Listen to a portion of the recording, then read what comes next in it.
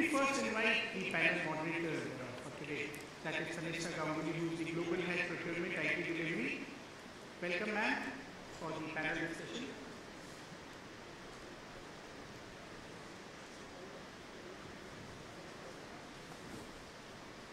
Tannistha, can I invite Suresh Babu Gadaginavar, who is the Head Corporate Procurement and Operation with Allana Group. Please welcome him with a big round of applause. Dinesh Business Director, ISM India with SAP Ariba. Ganesh Prasad, Procurement Business Partner Lead with Nestle. Sachin Tiwari, Associate Partner Procurement Transformation, IBM Consulting, IBM India and South Asia.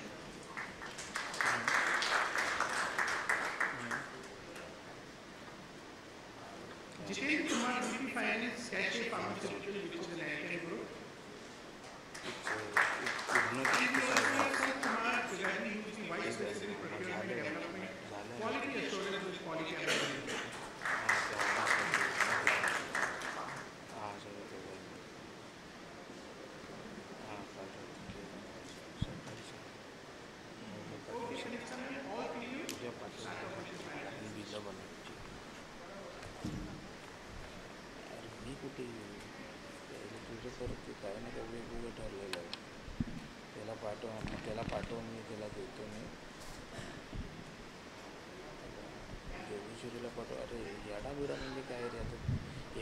I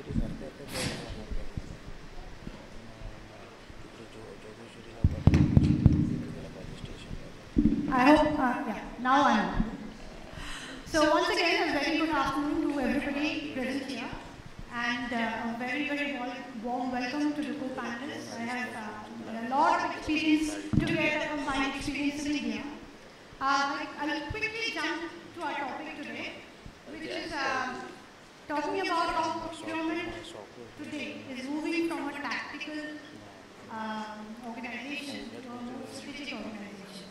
Right? Um, over the years, we've seen procurement being kind of a stepchild in the supply chain um, world, but today most of the industries will not make that mistake, right? So I wanted to uh, start this whole discussion with a few questions um, from our panelists. So let me jump into the questions, and uh, my first question is, how has procurement done this journey? How has procurement become one of the most critical functions in the recent times? And uh, Suresh, if I can um, have you answer that question. Hello, good afternoon everyone. Uh, myself Suresh uh, from Allana Sons. The procurement function is very very important function in the organization. The, we are uh, spenders. Uh, if the sales definitely uh, they are getting the money for the organization, but uh, procurement is very important. In the procurement, it's a very vast subject. So I don't want to take much time on this. The, we'll talk about only the QCD. So the quality is very important, and cost and uh, delivery. These three things are very very important. Uh, forget rest all things it's aligned with the things. If you talk about the quality, that's whatever material you are buying is as per the requirement. The cost is should be optimum and delivery. Delivery is as per the cost lead time. So for that, how do what are the action plans is very very important uh, in terms of the people, process and technology. I'll call it as in shortcut PPT. So process, people, uh, sorry, people, process and uh, technology. If you have a right technology, you don't have a right manpower, so you can't run the show. It's very, very important. And process also, it's very, very important. So there are some companies using uh, old processes. Please review process regularly. It helps you to much better. You can manage much better actually. So in short, I want to tell you for the procurement, it's very, very important. Why it is very, very important? With the current scenario, is challenging. Meeting the customer expectation is very difficult nowadays uh, with timelines. Uh, another thing which I have drive in my organizations, uh, it actually starts from the top-down approach, not bottom-up approach. So if you have a top-down approach, definitely we can success very well because a lot of IT experts, then, procurement expert, finance expert are there in the things. Even I drive in my areas and we succeed very well. Uh, that uh, that team started with a force team, force F O R C E, force team, focus on reducing the cost everywhere. So that team which I have developed and uh, consider last since five years we're driving with this thing, and it's working very well. And one more thing I want to highlight uh, related to uh, the, the three T's. That is, uh, transparency is very, very important. Uh, second is uh, traceability is whatever things which are doing, the traceability is very, very important. Third is time savings. So time saving, if you would use the digital technology, definitely you will be able to save the time. So overall, you consider, overall you consider that you uh, trust also. Trust, trust, trust is also very, very important. Apart from this, uh, the whatever the saving, saving is for me is a byproduct. I don't focus on the saving part. I focus on the process, system, traceability, and everything.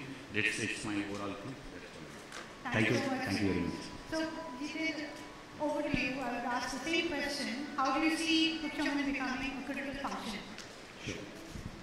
So, uh, last couple of years, the scenario has totally changed, especially if I talk about pharma industry.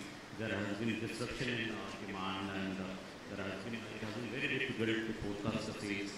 In this scenario, there, there is a great uh, role of uh, you know, procurement wherein they have to ensure that uh, the products are in demand, they have to be, those products have to be made available. Again, there are shortages, there are products which is not getting sold. So we have to maintain that stock. So that is one perspective wherein uh, demand for, you know, sales uh, very difficult. So managing the stock, procuring those stocks at the time of pandemic and uh, again, uh, you know, bringing new products on, on board is another challenge. And uh, one of the most critical, uh, I think, uh, which uh, as a finance or supply chain head, which I observe that they are very great role in, you know, driving the profitability of, of an organization. Because almost, which I observe, 70% costs are being controlled by uh, procurement. So the role of uh, procurement has, you know, become to a level where, wherein they can drive the uh, sales as well as, you know, profitability. That's it. Thank you. Thank you. Thank you, Jiten. So, my next question goes to Sachin.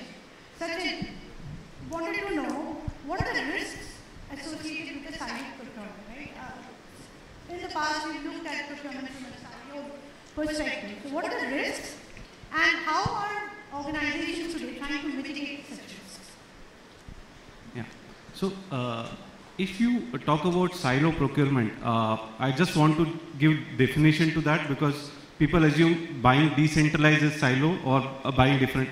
But silo can be people buying in different business units buying differently, different team buying differently, not talking to each other, as well as one more area which is procurement not talking to its stakeholders or maybe different, uh, uh, you can say uh, associated or infected parties. So that is a silo for me. And what I have seen, silo procurement not only has led to cost leakages, uh, it has also led to value destruction. Uh, value destruction in uh, many senses not only not capturing the right value in the right time, but also you're not able to capture the supply market dynamics, which in turn lead to your either revenue loss or profitability, profitability decay. So those are the things which typically a siloed organization lead to. It also limit the ability of any organization to leverage synergies and also bring, uh, you can say, a long-range plan for the organization to benefit from the procurement world. If I talk about the initiatives, uh, what we have helped or other companies are taking for removing that silo in the organization, first I'll put it into three bullets. First, uh, there are overarching or maybe integrated technology platforms and uh, technologies which can help them come on a single place and can drive that value out of that platform. Second, rethinking about the operating model. That's one of the very critical things. People have uh, all the legacy issues or the way they are working typically remains and they don't look at how they can build that or, or revisit their operating model. It can be a center of excellence, it can be a shared service center, it can be a centralized organization or it can be a decentralized organization. But revisiting operating model with the change in time has to be done. It can give you not only the synergy value, but it also gives you hidden uh, issues or hidden leakages which are there in the organization. The third and the most important point is how you build visibility in your organization. Because if it is a siloed organization, there are many things happening in different pockets which you will not know. There are many things which will be happening, but your team is not able to uh, overcome those challenges. There are challenges. So what we typically help is how a control tower kind of a structure, a very structured uh, thought process, which not only provide one uh, your transparency, second it also provide intelligence, it also provide you support of doing those transactional tactical work on a very streamlined, efficient manner. So, in, to summarize, these are the three points which any organization, if they embark on, will be able to overcome this siloed procurement as a problem. Yeah. Thanks, thanks so much, Sachin. So Ganesh, I would ask you to, uh, you know, provide a point of view from an FMCG perspective. Okay, I think Sachin uh, clearly explained what is silo. Uh, in my view, I will touch base upon an experience that we have actually gone through it and overcome this. Okay, particularly from an organization structure point of view. As is already mentioned on the technology part, I will try to provide you an in, uh, insight on the organizational structure. Because the system can provide you the information required, but your structure is not supporting to that, then it would not have a meaningful outcome. So what we have done from an, uh, from an organization perspective, our structure where procurement was earlier part of a function that is under finance, now move it towards supply chain, and now we have moved further down and become part of the business unit. Okay? Now every business unit has a procurement partner. Okay? That means any decision that the business is taking, a procurement is involved in it and he or she provides an insight and input towards the business by taking the right decision that has procurement insight. Okay? That's very important where we break the silo onto the entire organization, taking the right decision at the right time from the business point of view. Okay? So that's one of the things that we have changed the structure itself. Thank you so much, Ganesh. Binish, my next question goes to you.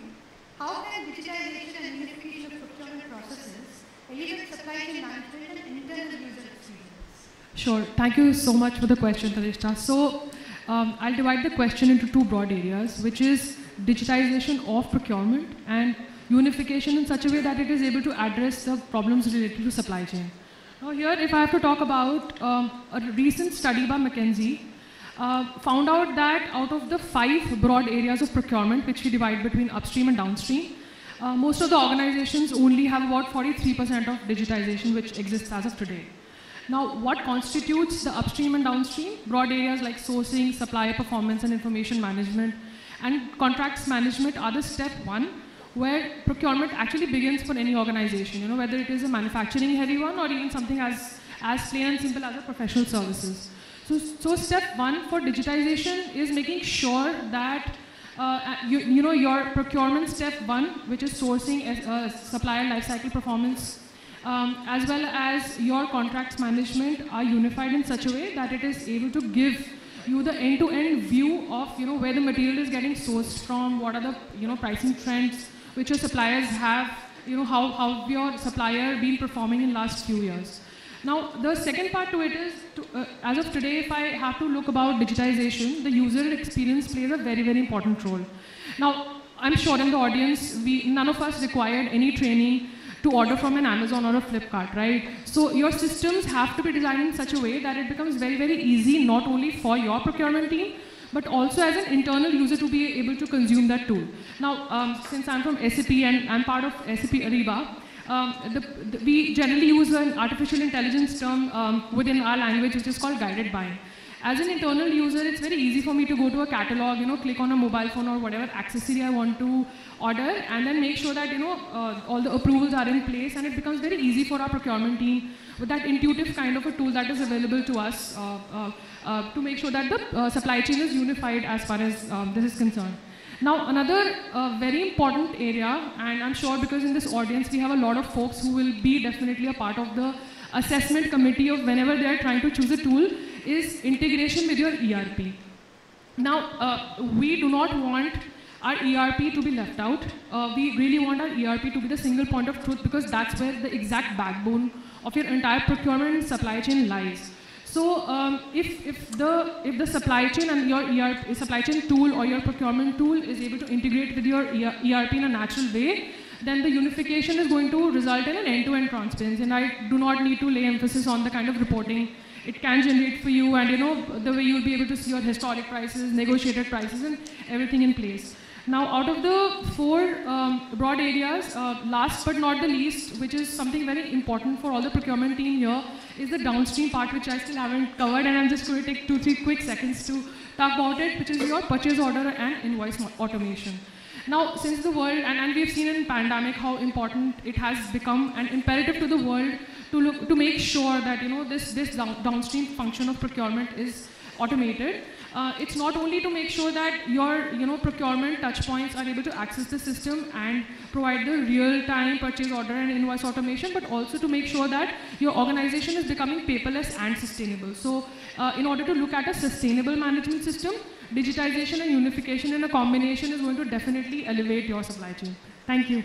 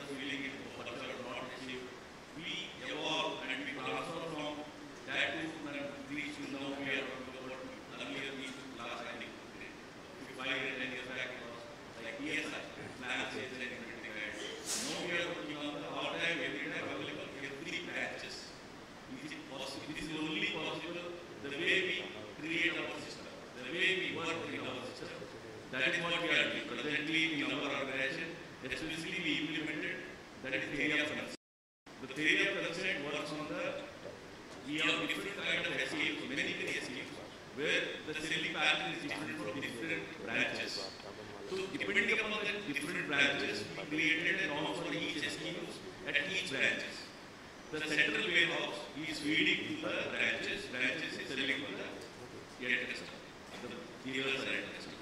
The norms, the all together branch norms are collected to CWH and CWH is we are filling, that is implementation model, we are filling the CWH, CWH is filling the branches. Then automatically, that we are addressing to the sales team. The always we feel the sales team always talk about we are not getting the right time, right product, we are not getting right cost, we are not getting uh, timely response. This digitalization making our pain, earlier our pain like supply chain people, we have, we used to have blame games. Now we are avoiding by digitalization. That is what we are. Thank you.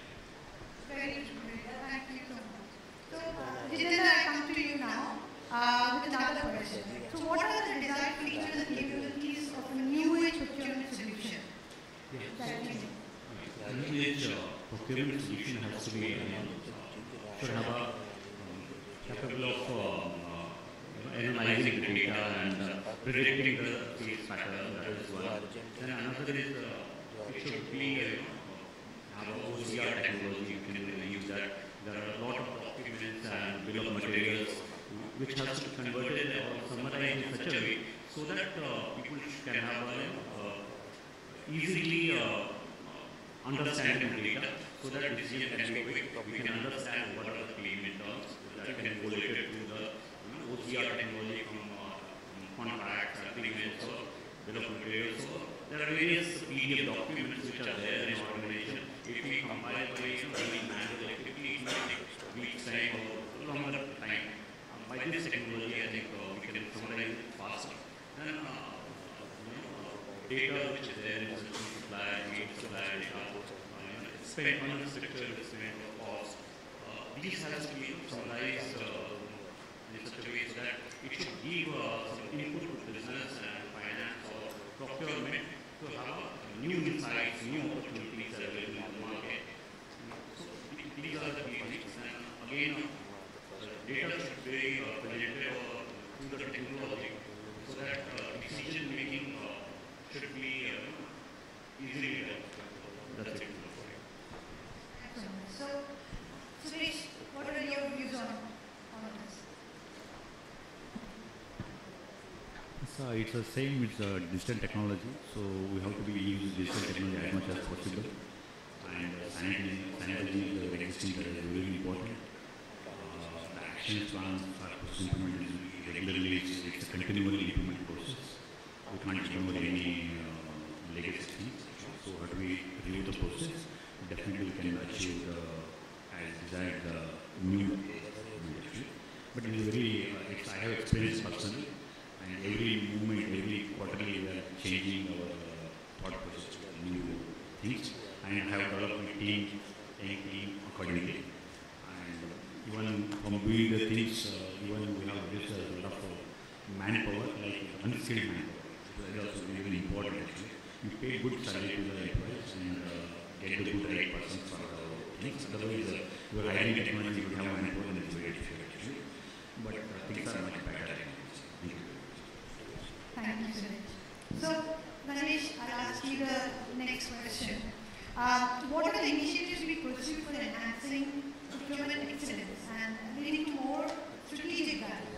Um, whether it is uh, using tools, transformative tools or working with uh, our vendor partners like IBM. What are the initiatives we pursue? Uh,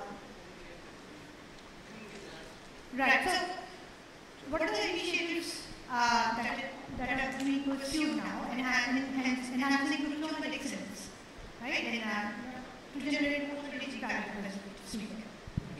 Uh, at least from uh, the company which I work from, I'll just give you some example of what we have done. Okay? Digital transformation, from our point of view, we always consider this as a journey. Okay? We don't try to implement everything at one go. Okay? One by one, step by step, okay, we start implementing. Okay?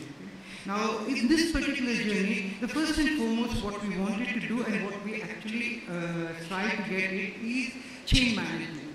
Okay? Ensure that the right person who's actually doing it, he accepts the change, accepts the new thing, and then probability of success in this is much more.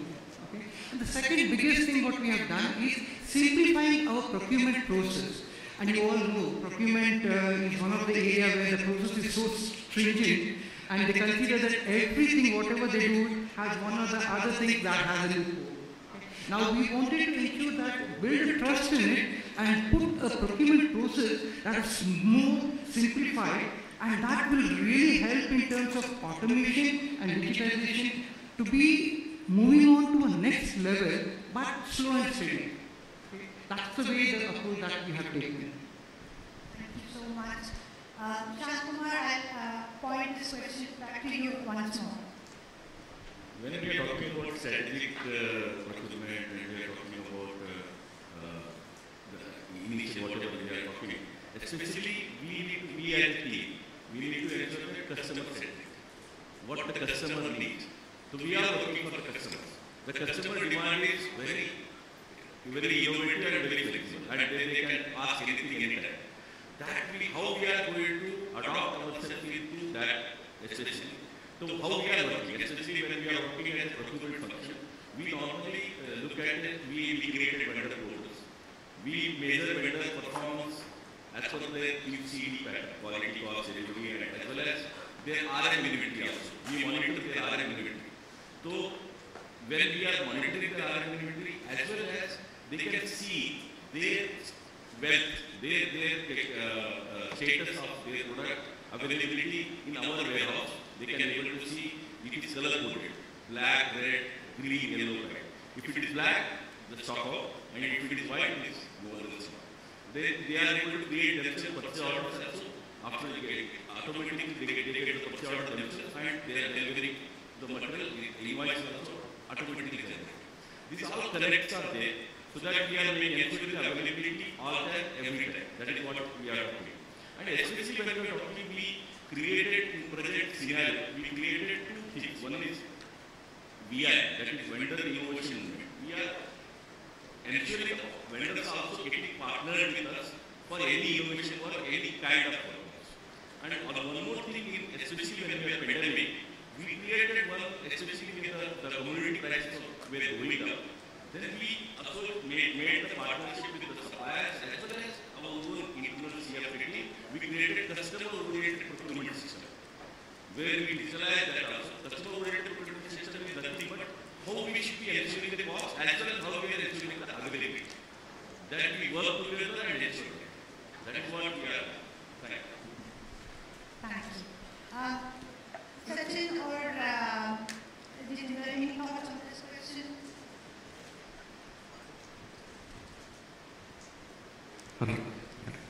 So organizations, uh, so, so main objective of procurement is not only to fill the transactional or tactical activities or only to bring material at the right time, right place. Now it has become more strategic. When I say strategic, it is not only getting involved in the day-to-day activity and participating in different uh, strategic discussions, but getting involved from the day one of the product cycle. So how the decision making is happening from the planning to execution and also getting it close till the time your procurement or payment is done. So when you look at the overall value add, it is not only by buying, it also adding value to innovation, getting the right inputs during the product design or product value adds. At the same time, at the value, at the uh, later, sta- uh, later part of the chain, it can be through how you are collaborating with vendors to get that innovation in-house. Because it's not only that innovation comes in, internally, you can also collaborate with your vendors how to build your innovation uh, system in, the, in place. So that way, procurement role is becoming more and more strategic, not only to bring material, but also how they can build innovation, sustainability, and efficiency in the organization. Jitendra, if you have Yeah. So um, nowadays, as I mentioned earlier, that procurement has become very critical functions. So there are few initiatives, I think, out of the box thinking of procurement has become a necessity of the time. Uh, if I talk about uh, in terms of uh, supply management or uh, uh, you know cost management, so these are the key factors wherein uh, I think initiative has to be taken. Strategic thoughts has to be put in. Binish, would you want to conclude our discussion? Thank you.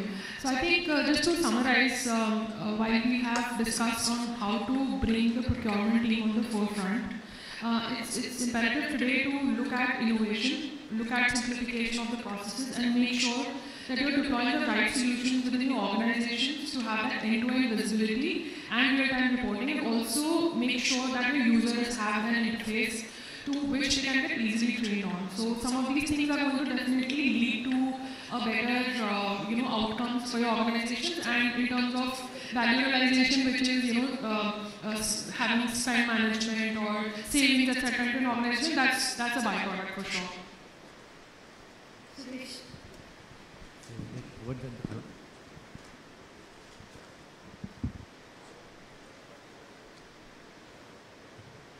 Hello. Along with the ERP systems, uh, initially we took how the digital transformation happened organization. Uh, first, we, uh, with the ERP, then we started the sourcing model actually. And uh, we ran the sourcing model for uh, six months to one year. And after that, we earned good money in the auctions.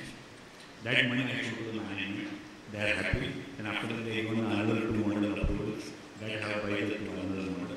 And like this, just uh, I am slowly adding my tools into the, my system. Definitely indirectly helps a lot as a lead of the procurement. Thank you.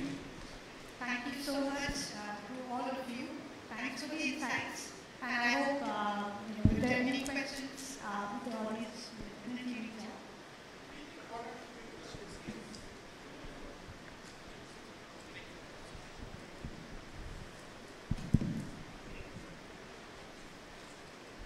Thank you. Great insight about the procurement. I need to understand, we are talking about in-house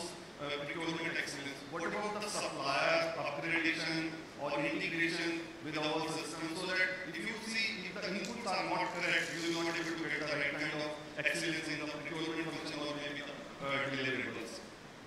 I need to understand more thoughts on the sourcing or upgradation of the partners. Huh, I will answer this question. The, we normally call garbage in, garbage out. Okay. When, when garbage in, garbage out is nothing but when we are producing garbage, then automatically output is garbage. So definitely we ensure, we must ensure the vendor quality as well as vendor capacity and capability. To do that, we need to get, understand that we first selection of suppliers. It's very important how we are going to select the supplier. Who are the customer, we should understand, and how is capability, even financial capability also. If somebody is having financial capability, poor capability, he is not able to procure his RM also, then we will be big trouble. So selection of supplier and association of the supplier, he should understand his component, how his component getting assembled in our product, how important is that? That also we have to understand.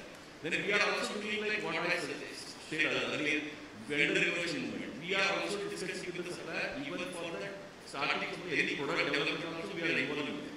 So that they are getting involved from the beginning and they will understand what percentage of rejection they have to maintain and, and ensure that the final product and how it is going to perform in the field also. And additionally, how competitive is the cost, the how the he in terms of RM procurement, in terms of association with us, all these things need to be understood. And additionally, we are we are sending fortnightly his report card, how his performance in terms of field, how his performance in terms of SQR, supply quality rating in terms of incoming rejection, as well as as well as online rejection. All these things are monitored and we are continuously interacting with them. Somebody is not performing, we normally call Wednesday morning meeting. Wherever he may be, he should be visiting us on 8 o'clock morning to the our office and presenting how, what was the failure, how we going to take corrective preventive action as well. Uh, this is this is what we are doing. And who is doing better performance, we are issuing green card. So two green green card it means he is DOL supplier, direct online. He will not be inspected and product will be directly to the line. And he will be getting better business and even we are presenting some awards and all these things. We are all, all these, these things we are doing to the suppliers.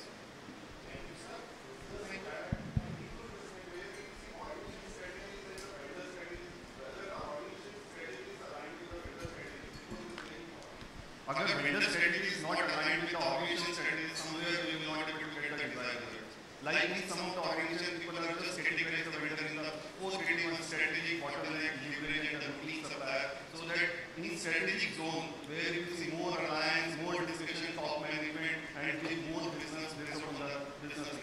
requirement. Absolutely.